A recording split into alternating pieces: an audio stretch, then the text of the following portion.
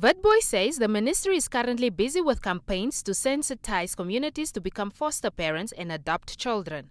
She says foster homes and adoption are better options for children compared to other childcare facilities.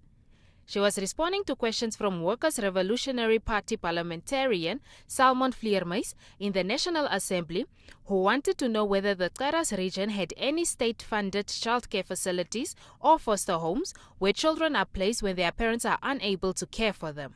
He says in cases where both parents are arrested, children are normally placed in the care of the Keetmanshoop State Hospital as there were no other facilities to take them to. Witbooi says that currently there is only one state children's home, which is in the Khomas region. Karas has currently no facilities that meet our standards.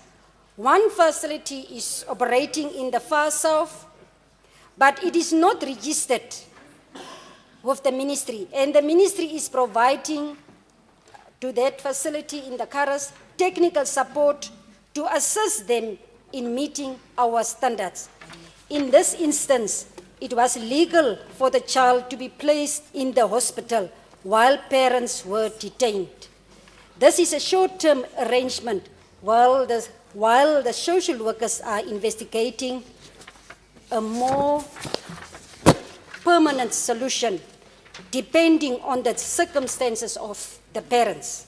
Children of detained parents are normally returned to the parents once released. However, if they are found to have been physically or emotionally neglected by the parents, the children are then removed and placed in foster care.